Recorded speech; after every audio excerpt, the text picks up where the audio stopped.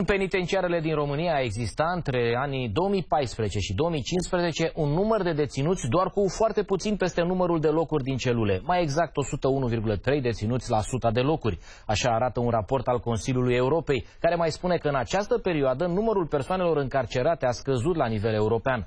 Totuși, suprapopularea în penitenciare rămâne o problemă în 15 state de pe continent, în ciuda tendinței de diminuare a pedepselor scurte cu închisoarea.